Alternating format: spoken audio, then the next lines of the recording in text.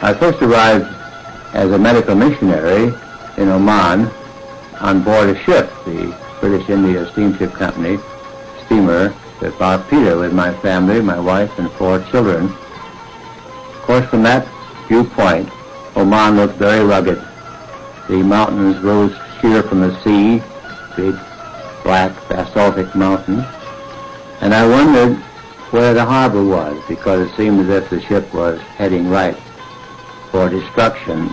It seemed to be heading straight for these precipitous mountains. But suddenly it took a right angle turn and then we were in the harbor. Here, a perfectly circular harbor, which once upon a time had been a volcanic crater. And on the shore we gleamed the white houses, the Sultan's Palace, the British Consul, and some of the more prosperous merchants' homes. On both sides of the harbor were these great Portuguese forts, which now are used one as a penitentiary and the other as a garrison. Soon little boats were coming, and some into one of these we unloaded our goods and were rowed ashore. Wells Thoms, human being, man, husband, father, Christian, doctor, representative of the Reformed Church in America, Christian to the people of Oman, missionary. Under orders from God and prepared by prayer and training, Dr. Thoms and his family arrived in the Middle East in 1931. Over the next 40 years, they gave their lives to join that company of men and women everywhere whose task it is to do the Master's work. Dr. Thoms' term as missionary was one of change. Oil was discovered first in Kuwait, later in Bahrain, then throughout the Middle East. A new spirit of nationalism rose, adding more problems to the already difficult task of communicating the good news to the Muslims. Standards of living around the world were raised, making the poor health conditions of undeveloped nations such as Oman stand out more acutely supporting Christians began to question some aspects of mission work. This also changed the spirit and style of missionary endeavor around the world. Dr. Thoms' work in Oman spanned four decades of such radical change. He reminisced about his life in Oman in an interview recorded shortly before his death. The country looks forbidding and severe and uh, desolate, but these people are very friendly people. The food comes mostly from the sea. The Omanis use nets and lines and hooks, and this is a very inefficient way to harvest the great riches of the sea. Their date gardens, their date palms provide dates, and this is their second source of food. Third source of food is their uh, goats and sheep as well as rice, which is imported, and a certain amount of wheat, which is raised. There are areas where the land is rich if they get rains. On the high mountains in the interior, they get a higher uh, rainfall, and this water flows down to the valleys and is caught in the springs, and uh, the ancient Persians built uh, underground waterways. They're called felegs in the country, and there you have the beautiful oases where the fruit trees grow. Muscat is considered by some people the hottest country in the world. I think one of the stories that describe the constant heat of the summer is that the Dykes were once given a hen as a present, and uh, they put it in a little room under the house, uh, and they had it for their Sunday noon dinner. A couple of weeks later, they heard a beep, beep, beep sound in that room and went in and found two little chicks that hatched out from eggs that had not been sat on for two weeks. The temperature had been so close to the temperature of an incubator that it didn't need a hen to hatch these chicks out. and that's a true story. It is a, a custom that you cannot or should not leave a house without drinking coffee with a host. You go around two or three times, but it's very strong. It's fresh coffee. I have found as coming at the end of a tour, getting off a camel or a donkey, feeling very tired, being invited by the first Arab I met to have coffee with him. He would first serve some dates and then some coffee and some dates. Combination of the quick pickup from the carbohydrates in the dates and the stimulating caffeine effect would really pep us up. Mission work today changes, as all things must. But in its ever-advancing development, today's mission builds upon the solid foundation laid by men of vision, men like Wells Thoms. Today, the hospital is operated by the missionaries, but supported by the government of Oman. Years ago, however, Dr. Thoms experienced many problems in the daily routine. Hotels in Muscat. So a patient would book a room. Any visitor would come to the hospital would find the whole family in the room and the cooking going on right there. They did all their business. They saw the town and went away happy that they'd been uh, in Muscat. Medically, they would come in with malaria, and some of them are very sick with malaria. Malaria kills a lot of children. Also dysentery, bacillary dysentery, amoebic dysentery is very common. Tuberculosis is a killer in the country. I would say that it's one of their major problems, and it gives us great joy when we know that the young Sultan wants to do something definitely for the people to help stamp out tuberculosis. And there's typhoid fever. There's tetanus. There's meningitis, hepatitis. And we also have leprosy. It's not common. But the leper today in Oman is like the he was in the days of Christ. He's rejected by people. And through the help of the American Leprosy Mission, we have the funds there to take care of people with leprosy.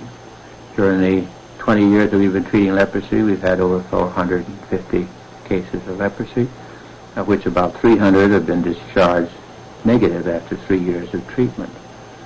So surgically, we get all kinds of cases. The uh, cases we see in our hospitals there are not much different than we see in America, but often the intensity was greater. They come in too late very often. The staff members are some Muslims and some Christians. The Christians on our staff are some of our best workers. This, I hope, partly because they are Christians. Now, most of our assistants are Omani men and women who are carry the bulk of the work. Mostly uh, treatments done by nurses in our hospitals are done by these young people. When I took over the charge hospital, there were only four men as the staff. Now there are about 180. This last year, they've been putting all their time to teaching because the young Sultan has urged us to teach more, and uh, now they have a two-year term training nurses from the young men and women of the country. Nahatha, the Arabs call it. Renaissance, a new feeling, an awareness, an awakening. As Dr. Thoms' reputation spread, that of Christian, healer, a concerned human being, Omanis realized that they too could serve their people, as Dr. Thoms was doing. He was then able to direct more effort into the area of his medical well, specialty. In the last few years specialized in eye surgery and eye diseases, but about 90% of them have a disease called trachoma, which is a disease of the upper eyelids. And of course, there are a certain number of cataract operations. Last year we did about 120. It's a great cure, of course, to be able to um, restore the sight for a person whose sight has become very dim. Each doctor has so many mornings in the outpatient department and so many mornings in the operating room. But in the old days, I saw them all because I was the only doctor. Our hospital, or fact, the only hospital in the country, so, that's just the people that town themselves, uh, Muscat Mud with population 20,000, would make a very busy clinic. So, although we're only seeing maybe a fraction of all the people in the country, still a, a 1% would make a thousand people in the morning. In that parable of the Good Samaritan, we who have heard this all our lives are not quite thrilled by it, as the Omanis who never heard it before. The contrast between the robbers who robbed the man, the man's need himself, the two men that went by and saw the need but did nothing about it. And then this other man who had compassionate heart and stopped and did something about it. And then Jesus commanded that lawyer, say, Go ye and do likewise. This has struck fire in the hearts of Christians every time from the time of Christ. And I think is responsible more than anything else for the fact that there are Christian missionary hospitals all over the world, in every desolate and deserted place, as in Muscat, Oman. Traditional mission work is centered around many areas, including healing and teaching and setting examples of Christian behavior and ideals. This is still true, though the burden of actual work and administration has shifted to the government in many countries. Long before this in Oman, Beth Thoms recognized the great need for basic education. One of her main contributions has been to teach uh, people, Omanis, their own language, teach them how to read. Amongst uh, her more apt pupils are leprosy patients. They're there for three years on the average, and quite a few of them have learned to read the Bible, read Arabic, and gone away back home to their own villages with this ability to read, which has raised their self-respect, of course, and their status in the village, the school we have there, the only girls' school in the country until this last fall when the government opened this school for girls. Uh, before that, there were two schools for boys, primary schools in the whole country, no secondary school, no high school. In our school, the mission school, there might be a few boys, but most of them are beautiful young ladies singing in very correct Arabic and reciting the prophecies and the fulfillment of Christ's coming from the Bible. Worship activities in the school and hospital and church are the center of our work. In the hospital we have prayers before starting our morning clinic. Then on Sunday morning at about 11 o'clock we used to have a service that people could come to. And then at prayer. Sunday mornings 9.30 usually, there's a service in the Muscat Chapel. At this uh, service, usually lasting about an hour, we run through a service very similar to those in our churches in America.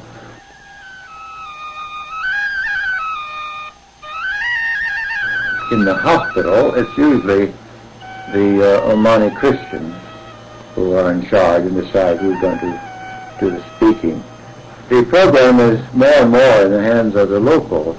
We think that's good. The fervor of nationalism is a dominant force throughout the Arab world today. Dr. Thoms was part of that era, exhorting Omani men and women to heed the call of Jesus, healing, treating the sick, setting examples of Christian love. Have home singing, and I remember my father and mother often play the old Moody and Sankey hymns, of which one of them was Trust and Obey. It didn't impress me so much uh, I was a teenager or in college or my early years, but gradually these two words came through to me, trust and obey. And then he's working out there unless we believe he is what he said he was, the Son of God, and that he is the head, that he is, runs the show. So trust and obey, these two words I like to leave with other people. Of course, I'm sure the chief witness is whether we act like Christians, and this is the hardest part of life in the push and pull and tension of work. It's been told to us that acts of my father, Dr. Paul Harrison, Dr. Husenfeld, and other and nurses on the staff have really influenced young men or women to want to become Christians.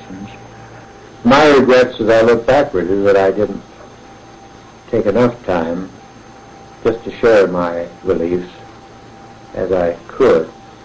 The opportunities for a surgeon or a nurse or a technician to still share his faith and to witness in a quiet, effective way are still there.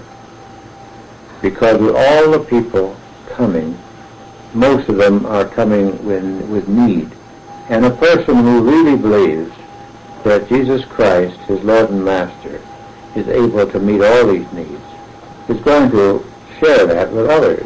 I like what Dehqani said. Uh, Hassan Dehqani wrote that book, you know, Design of My Life. He was a convert in uh, Iran, and now he's the bishop in Isfahan. And he wrote and said, don't stop telling the Muslims this wonderful truth, because then you're cheating them. You're not sharing the best you've got.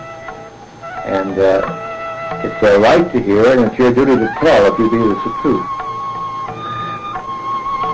Wells Thoms, missionary of the Reformed Church in I America. had so many happy moments. The work continues. My wife and I look back. The need continues. How wonderful it was that we were Prayer and sacrificial support will ensure the fulfillment of the needs of others in Oman, or Kuwait, or India, America, Ethiopia, wherever the love of Jesus is carried. Very often this talk goes around to who we serve and why we've come there and what we're doing, what is the meaning of our message. And I think that's in these periods when we get further in uh, understanding, in dialogue. Now it's on us. We can't just say we made a speech and that's it. You know, rest on the laurels. It's got to be more of a heart-to-heart dialogue. You tell, they can hear, the acceptance is up to the individual, whether it be in America or anywhere else.